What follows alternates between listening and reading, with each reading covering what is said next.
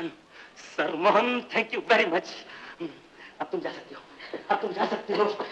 आज आज मुझे मोहब्बत का सबक मिल गया सुंदरता की दुनिया में जाने का सर्टिफिकेट मिल गया। बाहर आ जाओ। अच्छा मुत्तू।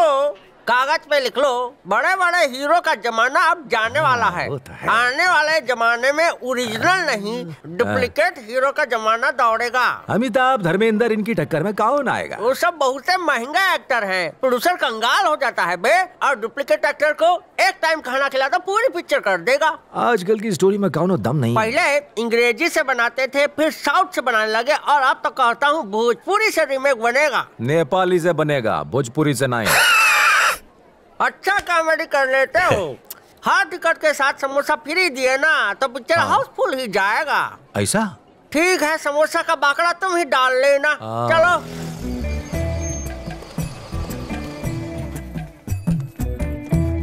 वेलकम नमस्ते है तुम कुछ ज़्यादा ही बिज़ी हो। तीन दिन हो गए तुमसे पूछते हुए कि आखिर दिवाली पर कौन सी फ़िल्म रिलीज़ की जाए? अब बता दो जवानी देखे आपको विश्वास है ना हम पर? इस दिवाली पर हम धमाका करूँगा। वो भी पटाखे वाला नहीं पैसों वाला धमाका। सारा शो हाउसफुल जाएगा। लोग ब्लैक टिकट का ब्लैक करके ब्लैक मनी कमाने वाला है।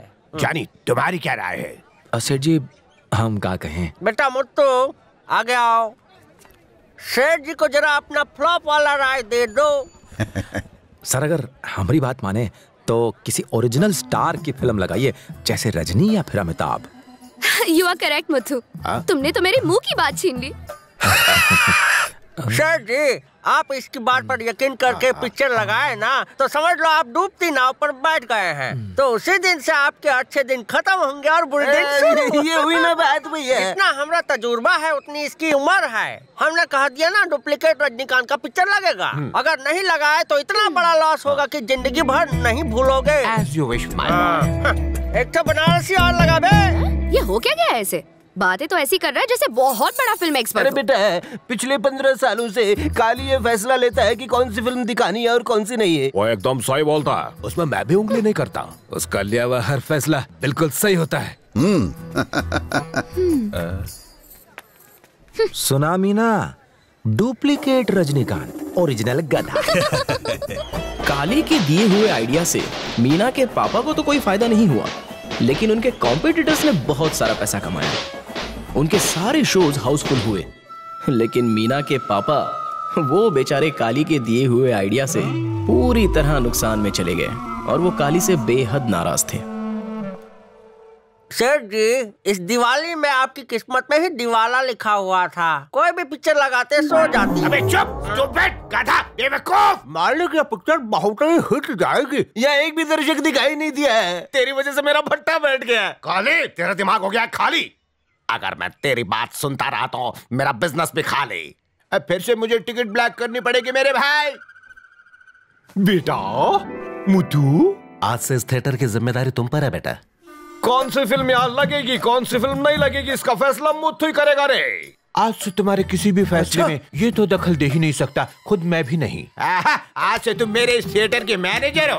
कह ना ना ये मेरा फैसला है। और कालिया तू तो अब क्या है? अब कोई ठेला लगाकर उस पर मेंदू बड़ा बना। अरे भाई तुम पंद्रह साल पहले इसी के लिए तो आए थे। कम से कम वो तो अब ठीक से बनाना। चले निकल। लगता है सेठ जी को फ़ूड पॉइजन हो गया है। हम जाके बात करता हूँ। एक ना एक दिन पुराना जाता और नया आता है। आज हम जा रहा हूँ।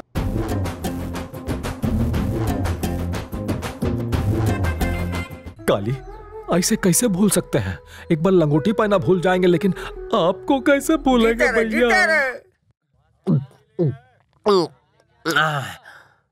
बेटा मुत्तू क्या हुआ? हमने आँख खोलते ही इसका ढक्कन काहे खोला?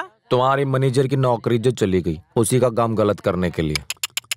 हमारा बेटा मुत्तू मैनेजर बन गया है हमारा दिल को खुशी हो रहा है। मैनेजर के लिए पंद्रह साल मेहनत किया पिछले साल मैनेजर बना और इस साल हटा दिया गया और तुम तो एक हफ़्ता में बन गया। भैया थोड़ा शांत तो रहिए। हम्म, एक ज़रूरी बात करनी है तुमसे।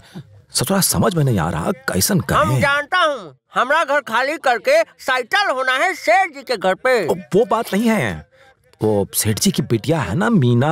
हाँ तो उसका का? कल हम पहाड़ वाले मंदिर जा रहे थे तो तो का दर्शन हो गए? मुथु ये लो। हम्म, का है Meena? Love letter love letter कौनो देख लिया तो? मेरे प्यारे मुत्थू खत में लिखा हर एक शब्द मेरे प्यार का रो रो कर इजहार कर रहा है। मुझे घुमा फिरा के बात करनी नहीं आती। मुझे तुम बहुत पसंद हो। तुम्हारे बिना नहीं जी सकती। अगर शादी करूँगी तो सिर्फ़ तुमसे। मुझे तो तुमसे उसी दिन प्यार हो गया था। जब उस दिन मैंने गलती से तुम पर स्याही फेंकी तुम्हारा स्वभाव मुझे बहुत पसंद आया। और कॉलेज में जब मैं बेहोश हो गई तुम मुझे उठाकर हॉस्पिटल ले गए। और हाँ सबसे बड़ी बात तुम इडली के साथ भुना हुआ चिकन भी लेकर आए थे जो मेरा फेवरेट है। वो पल मैं कभी भूल नहीं सकती। क्या तुम मुझसे शादी करोगे? मैं तुम्हारे जवाब का इंतज़ार करूँगी। और हाँ प्लीज़ ना मत बोलना ये आप ये आप का कह रही हैं? ये तो असंभव है। हम रामा स्वामी जी को धोखा नहीं दे सकते हैं ये बताओ अगर मैं रामास्वामी की बेटी नहीं होती तो क्या तुम मुझे मना कर देते? तब तो तुम मुझसे प्यार करते ना?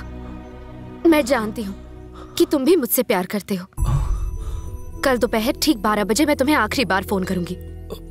अगर तुमने इनकार कर दिया तो मैं जहर खा लूँगी। याद रखना कल ठीक बारह बजे। जा रही हूँ मैं। मीना जी। अब तो शादी में ठहरने की जगह विलायती पिलाना पड़ेगा। सेठ जी के असली खजाने पे डाका डाले हो। चुप रहो तुम्हें मज़ाक सूझ रहा है।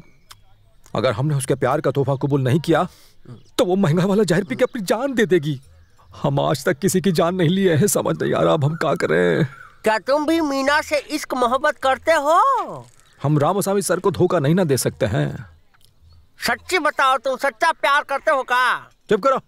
इसका जवाब नहीं है हमारे पास। ऐसा नागिन डांस ना किया करो। सच्ची बताओ मीना जी से प्यार करते हो तुम्हें तुम्हारे दूध वाले भैया जी का कसम। अमित जी की हिट फ़िल्म की कसम मीना जी से हम बहुत प्यार करते हैं। काश रामास्वामी सर भी हमारी तरह गरीब होते तो आज वो हमारे ससुर होते।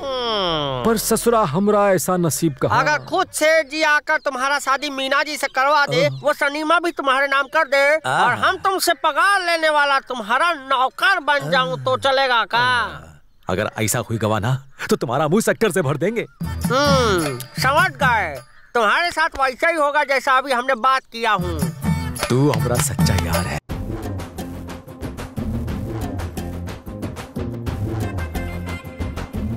बेटा मुट्टू बोलो। तुम बहुत जल्दी इस थिएटर का मालिक बन जाओगे। हम दुआ करता हूँ कि ये बात सच हो। अरे काली। अरे क्षमा कर दो गलती से तोहरा सीट पर बैठ गया। एक साल का आदत अरे जो है। बैठो हमें कोई प्रॉब्लम नहीं। चपरासी का स्टूल पर बैठूँगा तुम यहाँ बैठो। नहीं, नहीं, बैठो ना ना। ना तुम्हारा बैठो भैया। तुम बैठो जा। हाँ, अच्छा। बहुत बड़का आदमी बन गए हो।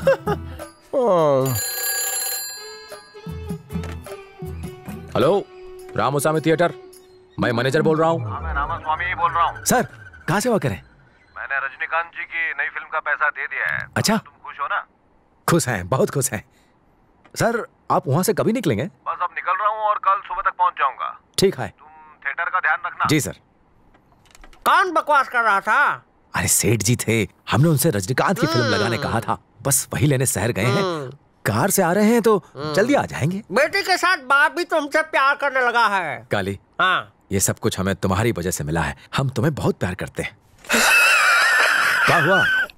मुट्टू बेटा तुम्हारा प्यार हमारे पान की तरह है। पहले गले में जाता है फिर सीधा पेट में पेट साफ़। तुम भी बहुत मज़ा किया हो हाँ, कसम से। मुट्टू बेटा पेट का नाम लिया ना थोड़ा हाँ। गुड़गुड़ा के आते हैं ठीक है? हाँ, हाँ, जल्दी हाँ, जल्दी जाना नहीं।